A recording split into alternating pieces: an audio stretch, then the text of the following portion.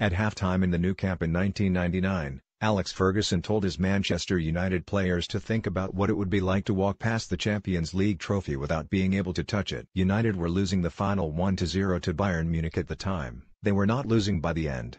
At Anfield on Monday Jurgen Klopp said he has no special words for his team ahead of Tuesday's semi-final first leg against Roma. He said he did not wish to make his players feel this was a once-in-a-lifetime opportunity.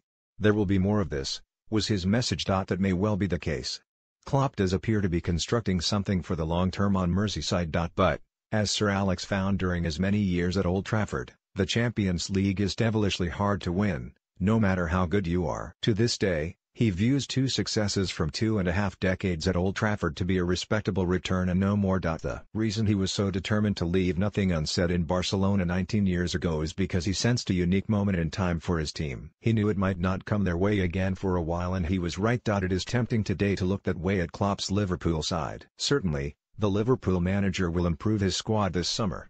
It will start next season deeper, more experienced and better equipped for a sustained crack at the Premier League. Equally, Football can be about fleeting moments and about taking advantage of those times when the stars align and circumstances point you towards glory. Tuesday night feels a little bit like that for Liverpool. Klopp is facing the most palatable of the three other teams left in the competition and Liverpool come into this tie still feeling the adrenaline rush of the way they trampled on the European aspirations of Pep Guardiola and Manchester City in a thrilling quarter-final. Their key players are also fit and confident. So much depends on that at this late stage of the season. Rarely again will Klopp have at his disposal three forwards flush with the form and freshness that is currently driving Mo Roberto Firmino and Sadio Mane inexorably forwards. Salah, the new PFA Player of the Year, has scored 41 goals for Liverpool this season. To ask him to do that again next season, especially after a World Cup summer, would be a big call. The Egyptian also has the added incentive of playing against his former club on Tuesday night and his contribution so far has helped Liverpool plunder 33 goals in the Champions League this season. Dot that makes them the competition's top scorers and a habit of scoring quick back-to-back -back goals exhibited against City and previously Porto,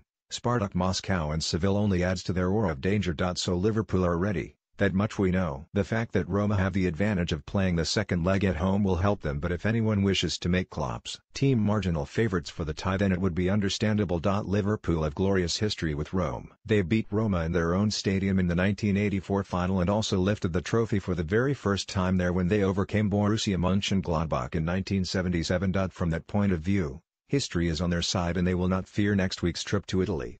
However, it is on Tuesday in front of another pulsing Anfield crowd that Liverpool have the opportunity to inflict the real damage.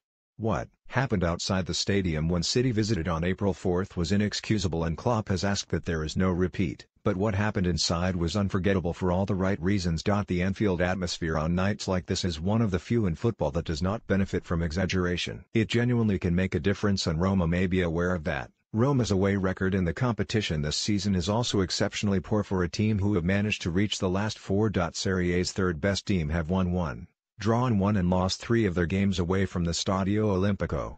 They have let in 12 goals in those games, including three in a draw at Chelsea, and the only reason their second leg comeback at home to Barcelona a fortnight ago was so remarkable was because they had shipped four in the first game in Spain. So Liverpool will have Roma's much talked about goalkeeper Alisson in their sights on Tuesday and, as ambitious as it sounds, Klopp will surely harbour private hopes that his team can do to the Italians what they did to City and all but finish them by the halfway stage of the tie.